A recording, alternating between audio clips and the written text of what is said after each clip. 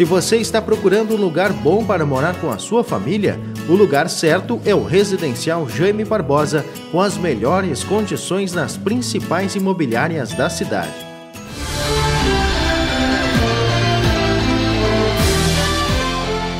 O Clube Náutico Tapense convoca os sócios a participar da Assembleia Geral Ordinária a ser realizada na Secretaria do Clube, no dia 10 de maio, às 7 da noite, para eleger um terço dos membros efetivos do Conselho Deliberativo e todos os suplentes. A lista de inscrição para os interessados está à disposição na Secretaria Administrativa do Clube e pode ser preenchida por qualquer sócio, desde que esteja em dia com as suas obrigações no clube.